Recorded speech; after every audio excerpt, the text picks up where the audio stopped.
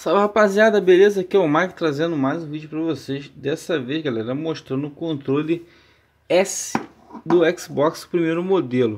Que atrás vocês veem a indicação Xbox Controller S, né? Microsoft Corporation Made in China. É, fabricado na China, né?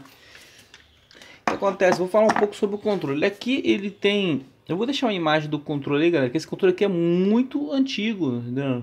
Já tá muito gasto o bichinho, mas ainda funciona legal ainda, entendeu? Aqui ele tem um símbolo verde do, do X do Xbox, correto? Então, vamos falar um pouco sobre as características do controle. A configuração do, do, da, do layout, layout de, de botões da, da Microsoft nesse controle deixou para mim muito a desejar, né, galera? Primeiro que os botões aqui foram mal distribuídos. Aqui nós temos aqui em cima, a parte aqui superior, nós temos duas entradas de slot para memory card, né? Seria a mesma coisa que memory card da Sony para poder gravar os jogos, certo? Então ela vai direto no controle. Aí nós temos o layout de botões muito semelhante ao do Xbox 360. Claro que esse controle aqui veio primeiro do que o do controle do Xbox 360, mas eles mantiveram no 360 esse layout de controle. Aqui nós temos dois botões aqui que seria equivalente, galera, ao botão R1 e L1 no aparelho da Sony, correto? Eles colocaram dois botões e muito desconfortável. Eu, por exemplo, eu tenho a mão média, minha mão não é nem grande nem pequena, eu seguro o controle assim. Como eu vou conseguir apertar esse botão aqui? Eu não consigo, tá vendo? Eu não consigo. Então eu tenho que apoiar com esse controle aqui, ó. Esse aqui até que dá, porque esse aqui é de controle fica mais, mas esse aqui geralmente fica mais fechado, ó. Tá vendo? É muito desconfortável esses dois botões aqui. Esses botões era para ter ficado aqui em cima e tem espaço para colocar mais dois botões aqui, ó. Foi mal planejado, muito mal planejado esse controle. Ponto positivo desse controle aqui eu dou em relação a esse gatilho aqui, ó. Esse gatilho aqui sim é muito confortável, galera, muito confortável, principalmente para jogos jogos de corrida, tá vendo? Ó, vocês notarem aqui, ó, ele é bem preciso. E ele usa um sistema magnético. Eu desmontei esse controle. Agora eu faço um vídeo mostrando ele por dentro, né? Ele tem, um, ele tem essa parte aqui magnética. Ele não é soldada igual o analógico, entendeu? Então ele é magnético. Então ele se torna muito preciso, muito preciso mesmo. E o desgaste dele é menor por ser magnético, né? Aí tem aqui esses botões aqui L1 e R1, como se fosse R1 e L1, certo? Tem esse controle, tem esses botões aqui que está bem colocado esse controle aqui. Pelo menos nisso eles acertaram, mas aí eles pegaram a configuração do controle do Dreamcast. Depois eu faço um vídeo mostrando o controle do Dreamcast. Esse aqui é o controle S do Microsoft, o Xbox Microsoft, certo? Pack Start o analógico aqui está bem posicionado, fica muito confortável jogar jogos de FPS, aqui fica muito bom. Aqui a, a o botão de câmera, digital, digital aqui eu achei praticamente idêntico ao do 360, se vocês notarem aqui o controle. Esse aqui já tá velhinho já, cara. O controle do 360, né? Esse digital é muito parecido, muito semelhante mesmo, né? Esse aqui é um pouquinho, acho um pouquinho melhor. Tá vendo? Então temos aí uma, algumas adaptações em relação ao 360. Mas depois eu falo sobre o controle 360, certo? Então falei sobre isso. Ah, o fio, galera, o fio é uma coisa que me chama muita atenção. Ele tem 3 metros de fio, cara. É um, é um dos fios mais, mais longos que eu já vi no controle. Mas ele tem esse plug aqui que você solta, solta o plugzinho, certo? Solta o plugzinho e pode prender. Eu não sei porquê. Há algum motivo dessa, dessa, sei lá, depois eu vou pesquisar e colocar aí nos comentários do vídeo, aí no, na descrição do vídeo, beleza, galera? Minha opinião sobre o controle, o controle é bom, né? Muito bom mesmo, muito confortável, né? É o controle S do, do Xbox primeiro modelo. Ele tá velhinho, galera, porque essa parte aqui caiu. Aqui tinha um símbolo do, do, do X aqui do Xbox, caiu.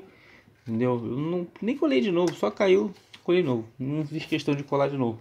Ele é um controle muito bom, mas ele se torna desconfortável, principalmente em jogos de luta.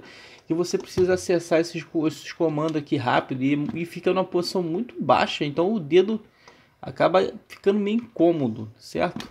E ele, sinceramente, acho que poderia ser um pouco, um pouco mais fino. Ele é um pouco grosso, né? E acaba, sei lá, acaba ficando meio desconfortável na mão. É um controle bom. Quando você começa a jogar nele, você se caga muito nisso aqui, mas a parte que tem esses botões, esse aqui, e o gatilho são excelentes. Tanto que o Xbox One, o Xbox One, o Xbox 360, ele herdou praticamente a mesma configuração e é um controle que, sinceramente, eu acho muito bom. Mas tá aí, a Microsoft vacilou aí na, no, nos primeiros modelos de Xbox, né? No primeiro modelo, por, por exemplo, né? No, tanto fazendo fazendo o Duke, o controle Duke, é o controle maior. Eu já fiz vídeo sobre ele já. Aqui, galera, tá o controle tá o controle Duke. Vocês podem ver que é um trambolhão, né, galera? O analógico, é o, o botão aqui, ó, o gatilho analógico é muito bom, mas o controle também é um é um trombolhão, né? Deixa eu desenrolar aqui. Tá na cor verde, esses controles são originais, né? Deixa eu desenrolar aqui para vocês dar uma olhada na frente dele sem o fio, né? Vocês podem ver que porra, parece até a letra M, né, mano? Maneiro, né? Aí aqui os japoneses reclamavam que o japonesinho é tudo com mãozinha. Ai, a minha mãozinha de malacói. Japonês é foda, japonês tem a mãozinha pequena, né? Então esse controle aqui na mão do japonês parecia que tava segurando um, um prato, né, velho? Aí eles fizeram o controle. É, esse aqui é o controle Duke, galera. Beleza? Esse aqui é o controle Duke, ó. É, Xbox Game Controller, certo? Esse aqui já foi fabricado, Microsoft Corporation Made in Malásia. Já foi fabricado na Malásia, tá vendo? É um controle usado também, certo? Ele já até perdeu os analógicos já, de tanto jogar nele. Então é o seguinte, galera. Esse aqui é o controle Duke. Já fiz vídeo mostrando ele já, certo? Aí depois foi feito o controle S para os malecói. Controle S aí para poder o japonês pegar na mãozinha, né? Na mãozinha, né? Olha a grossura dos bichos, ó. Beleza, galera? Então falei um pouco aí do controle S. Espero que vocês tenham gostado, certo? Se quiser um vídeo aí mostrando outro tipo de controle. Por que aí o, esse quadro que eu tô fazendo, galera? Mostrando os controles.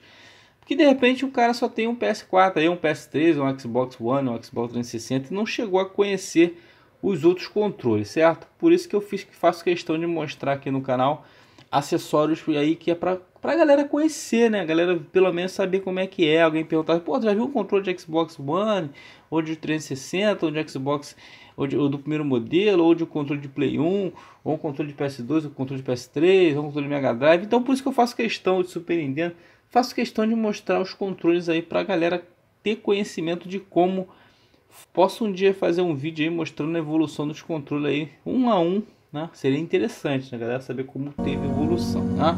Beleza, galera? Espero que tenham gostado do vídeo. Não esqueça de deixar aquele like. E se você não é inscrito no canal, se inscreva e ative as notificações para não perder mais vídeos, beleza? Tamo junto, até um próximo vídeo. Valeu, fui!